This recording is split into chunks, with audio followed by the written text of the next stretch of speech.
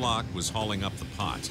The buoy popped out, slamming engineer Lenny Lekanoff in the head and slicing his face open.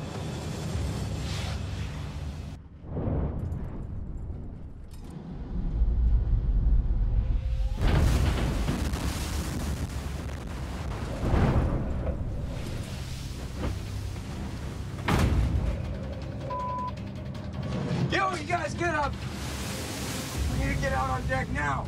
Take a look, Nick.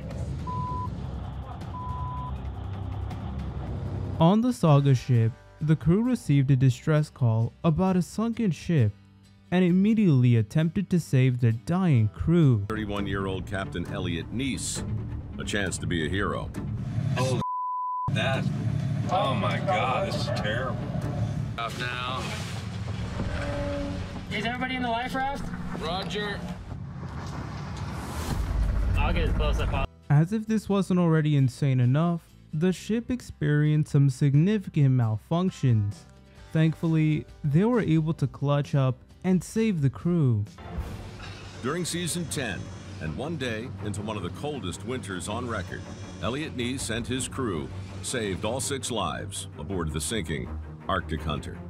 Elliot, his dad, and his crew were heroes that day.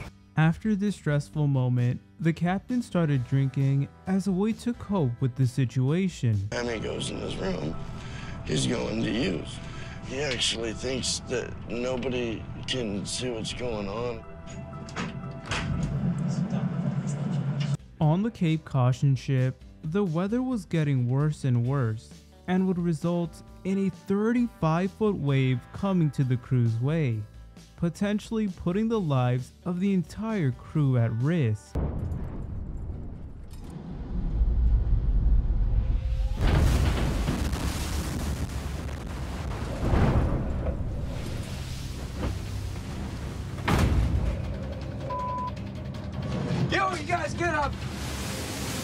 Get out on deck. This 35 foot tall wave shattered and completely broke multiple pieces of the boat. Some of the damage was so bad that there was no way to fix it, and this wave cost the crew thousands of damages. The Cape Caution's deck, shattering deck boards and damaging the sorting table. Unfortunately, a crew member got a horrible injury on their hand as a result of the wave. When did it get bad? Well, when we uh, went down to, the, to take a nap before, I couldn't. One of the deckhands got injured in their hands. It was also this deckhand's third week working. His entire body hurt and needed to get his hands checked immediately.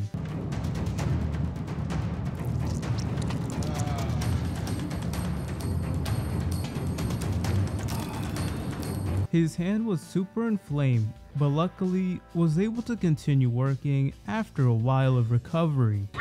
God damn it!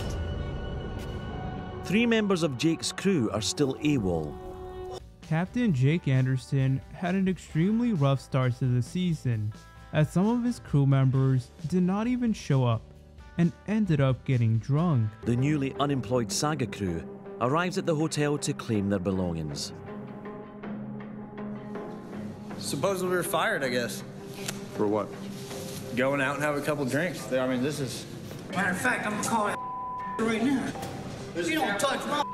Eventually, Jake found out about their behavior and then confronted the drunken crew members. There's no drinking. You said go have dinner. How do you know we were drinking? Okay, let me ask you this, officer. Why are you talking to them? Talk to me. You know what? You arguing with me right now is This altercation ultimately ended up in Jake firing these crew members and even got the police involved.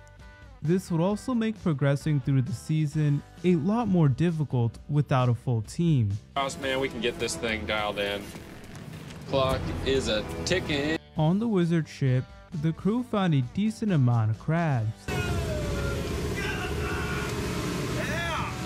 Oh, it's got a couple in it. As they were lifting up the crab pots, an injury occurred.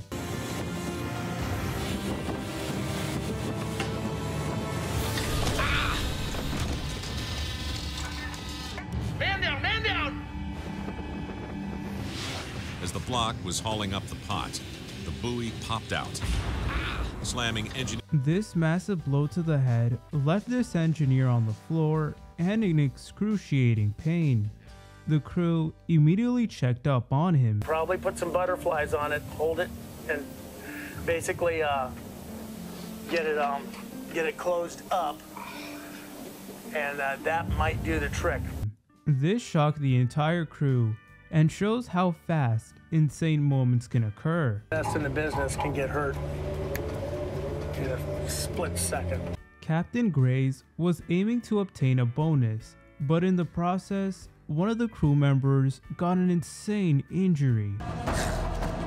Boys are tired. I feel like I'm about to fall overboard.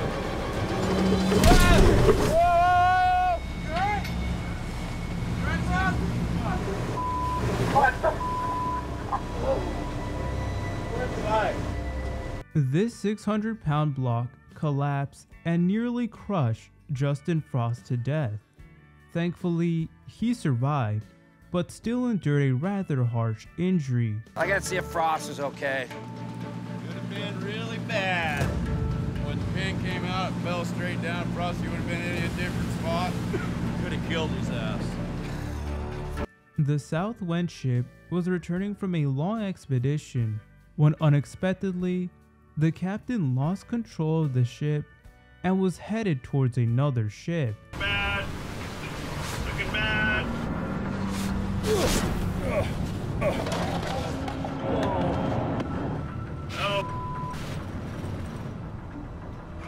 Come on! Dude, what the? Nobody had a bag ready. Neither. The two ships collided, causing a significant amount of destruction inside both of the ships. Unfortunately, this left a big dent on the Summer Bay ship. What the? The starboard stern has a new christening by my buddy Harley. Jackass. That was.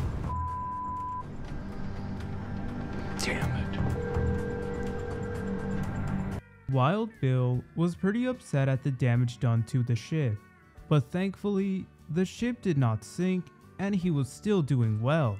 Our crab fishing game will potentially not give us a fishery next year. So it's really a big deal for us to get out and get this stuff caught